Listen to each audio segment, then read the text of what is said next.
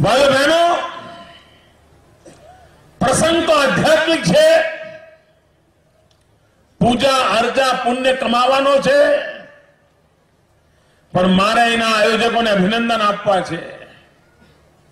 કે એમણે આખી શક્તિ સમાજની આવતી કાલ માટે એક મજબૂત પાયો નાખવા માટે ખર્ચવાની નક્કી કરી છે.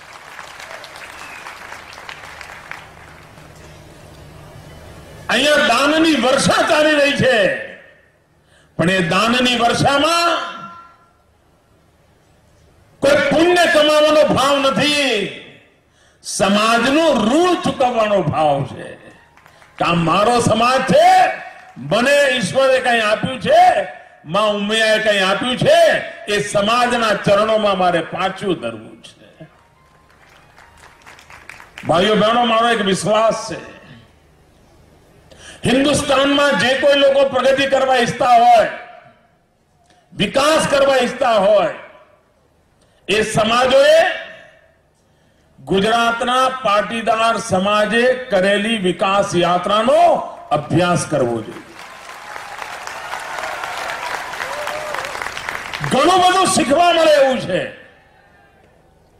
નહીં તો પચાસ વર્ષ પહેલા આ સમાજ માટે શું બોલાતું હતું? કેવી ચર્ચા થતી હતી. પચાસ જ વર્ષના ટૂંકા ગાળામાં આપણા વડવાઓએ આપણને એવો દિશા સંકેત કર્યો કે આજે સમગ્ર દેશમાં ગૌરવ અપાવી શકાય એવી આ સમાજ રચના ઊભી થઈ છે. સમાજ શક્તિ ઊભી થઈ છે. અને આપણા વડવાઓએ કઈ વાત પકડી? અનેક મહાપુરુષોને યાદ કરીએ. અમારી બાજુ અમે લગાતાર છગન બાપાને યાદ કરીએ.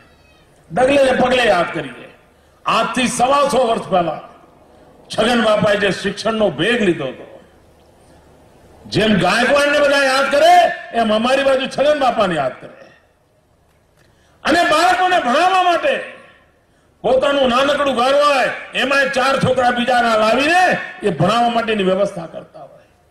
મિત્રો, આ શિક્ષણની સાધનાએ સમાજમાં જે જાગૃતિ આણી એણે આજે સમાજને આ ઊંચાઈએ પહોંચાડ્યો છે. કોઈની કૃપાથી મોટો થયેલો આ સમાજ નથી ભાઈ.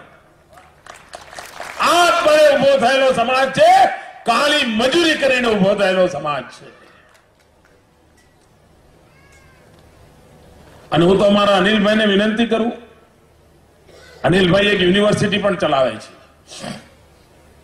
એ યુનિવર્સિટીમાં પીએચડી કરાવવા માટે બાળકોને કામ કેવું છે પાટીદાર સમાજની વિકાસ યાત્રા ઉપર પીએચડી સમાજના ઘણા લોકોને પ્રેરણા મળશે. વૈજ્ઞાનિક રીતે એમાંથી શોધાશે કે કયા સમયમાં કઈ કઈ બાબતોને પ્રાધાન્ય આપ્યું અને એના કારણે સમાજમાં બદલ આવ્યો છે. તો બીજા સમાજોને પણ આગળ વધવો રસ્તો કયો એ શીખવા મળશે.